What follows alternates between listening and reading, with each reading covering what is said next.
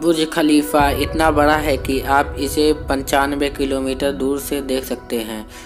इसकी चोटी से पड़ोसी देश ईरान भी दिखता है।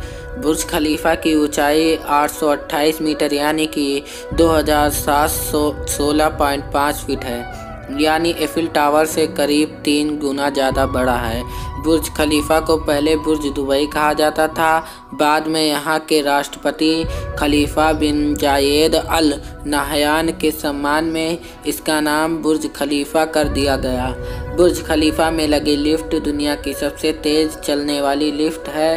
बुर्ज खलीफा में लगे एसी से जितना पानी एक साल में निकलता है, उससे ओलंपिक के पाँच स्विमिंग पूल भरे जा सकते हैं। इसे बनाने में एक लाख हाथियों के बराबर कंक्रीट और पाँच ए थ्री एट ज़ीरो हवाई जहाज़ के बराबर एल्यूमिनियम लगा है।